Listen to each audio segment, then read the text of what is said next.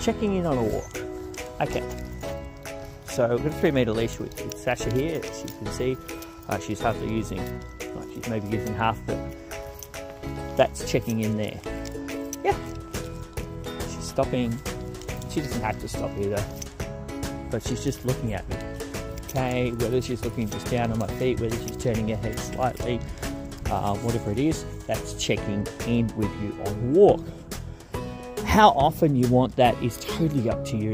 Uh, there's times where I might not get a check-in for her for five minutes. She's too busy just you know, on the hunt, on the sniff. That's absolutely fine.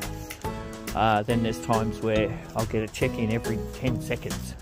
Okay. The main thing is to have checking in on your walk. Okay. To not have checking in at all uh, means that you're losing that connection with your dog. Gotcha.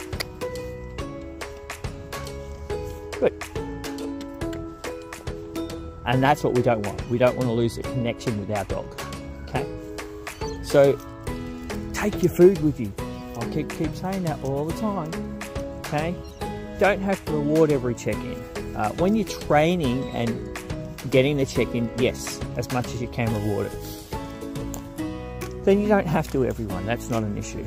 Um, I also feel then if you're noticing the check-ins, it means that you're actually watching the dog. so on a walk, uh, there's nothing worse than forgetting about your dog and not actually connecting with them um, and not watching them. Uh, that's one of the biggest issues I have with people with off-leash dogs. I see them in front and their dog's behind. They have no clue where their dog is and what they're doing, uh, and they're not actually connecting with their dog. They're just doing this because it's a chore. I have to get my dog to get some exercise in. No. Uh, physically want to know what Sasha's doing, where she's going, um, and enjoy the walk together. Hence why I get a lot of this, no pulling. Uh, come on this way, Sasha.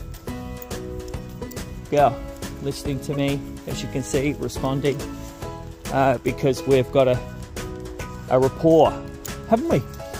The whole time.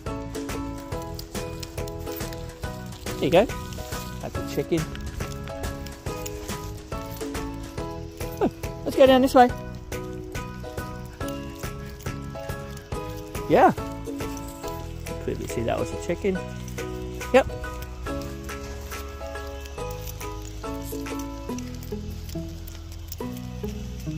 I mean, my dog's not pulling here. Alright, we're going to do a give way as well. Because there's a bike coming up. Alright, Sasha, stop. Wait.